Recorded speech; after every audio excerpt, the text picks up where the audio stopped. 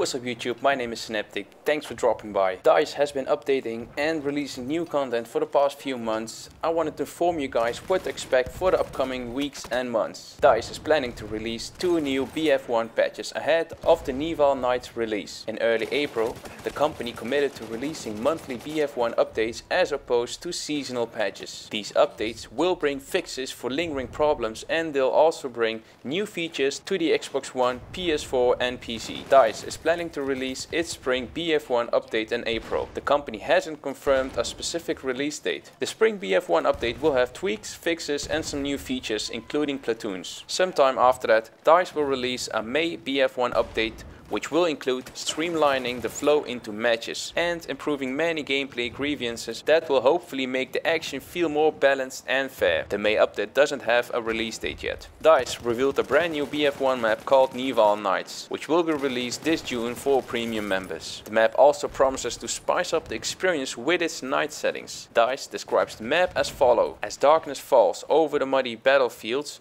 around Malmaison and Soupir, French and German batteries prepare to yet yet again support their troops on the contested ground. The moon, the searchlights and the artillery light up the night skies, exposing the vast network of trenches. Bite and hold as your foe will fight for every inch of ground. Strategy and teamwork will overcome those who have neither. Nivelle Nights is a free map that features the French and German armies battling against one another under the cover of darkness. Yes, this is the first BF1 map set at night. The map, which is set in des Dames, in 1917 features the muddy battlegrounds around Malmaison and Soupir in France. The images here from DICE media editor Petri showcase the Nivelle Night map in amazing detail. The map features trenches, searchlight, the glowing moon and a lot of mud. DICE has released a new map into the BF1 community test environment also known as the BF1 CTE. The BF1 CTE is currently limited to Windows PC users, but DICE is expected to open up to the Xbox One and PS4 at some point down the road. At this point we're expecting Nivelle Nights to serve as a bridge between They Shall Not Pass and the next piece of Battlefield 1 DLC. In the Name of Tsar is the second BF1 DLC and it will bring the Russian army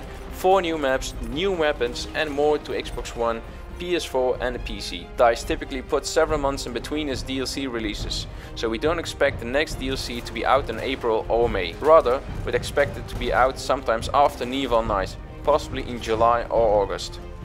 After that, DICE will release the Turning Tides DLC, the Apocalypse DLC, monthly patches and, if we're lucky, free maps that fall outside the DLC expansions. Thanks for tuning in. A like and subscribe is always appreciated.